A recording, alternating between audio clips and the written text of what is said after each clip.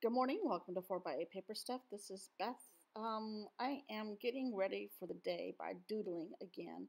I found a monthly challenge or list. That was a little flash of it. Um, it's from a homeschooling thing.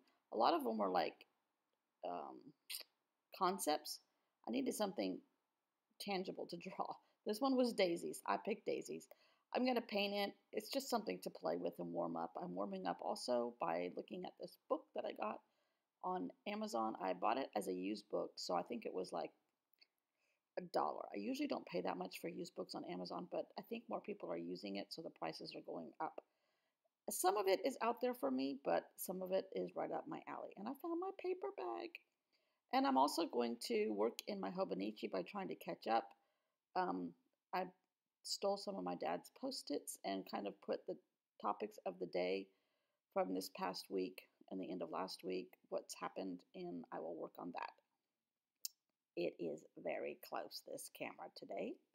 Can't get it close enough. Sometimes I get it too close. Oh well.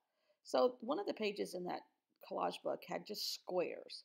That appealed to me. Apparently, appeals to me a lot because I like quilting squares.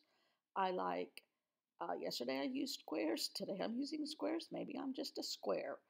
Um, who knows? Anyhow, I'm using scraps from my kit that I made up myself and tearing out squares, sort of squares, freeing squares. Um, and I am not thinking, not going by any color code, just getting squares torn out of the scraps. Some of these pages and paper I've used a hundred times this month, but I'm going to stick to this because what's left is going in the trash from this Use It or Lose It kit that I made myself for this month. Um, it wasn't with Amy Curti, but it was pretty plain sight. I've gone through that box a hundred times that I found it in, but there it was last night, right on top. So Amy must have freed it for me from the confines of that box. Sorry. Anyhow, gluing these squares down, trying not to think of where they're going to go. On that collage book page, um, granted, these are not nearly as artistic as that page was, but it gave me the concept. But I'm going to go in with some of these new metallic markers that I got from American Crafts and put kind of like frame these very, very loosely, just scribble really. Um, I added a pumpkin just because I thought it could go once everything's down, you don't notice that it's round as opposed to all the other squares. Round, square, round, peg, square hole, whatever that's called. Anyhow, um, I do back up eventually.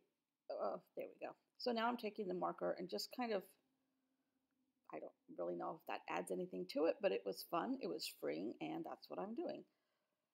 And um, the, the quote I have is something, and I'm finally using that Disney frame, and I thought, oh, I could turn it upside down and change it to whatever color I want.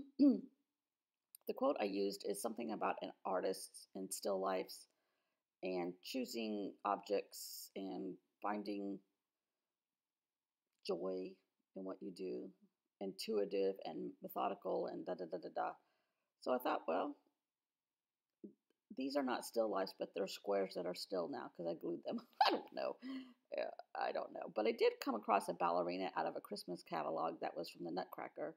So I thought, well, she's kind of a still life. She's never, she's never not in motion. And um, so we're going to use that as our still life from the word from the quote. An artist entranced with the still life genre reveals how he chooses objects and computes something in a way that both intuitive and methodical. That tables, anyhow. So here comes my still life.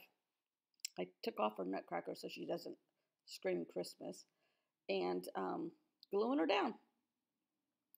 These are freeing. This is not supposed to be art. This is just me having art therapy, and it works, and it works, and it works. And I do it over and over and over.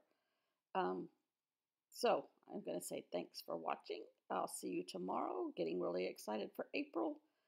My concept may be crazy to most anybody, but I'm going to enjoy it, so that's what matters. So I do say thanks for watching. You might want to subscribe because I never know when I can be here and when I can't. and I was going to sew this these inserts down to the cover, but I didn't bring a big enough needle or any of the supplies that I need. Oh, my sister might have cross stitch stuff here. Don't tell her if I steal some of her thread. Anyhow, thanks for watching. See you all tomorrow. And we'll see how everything goes. Hope you all are doing well. Bye.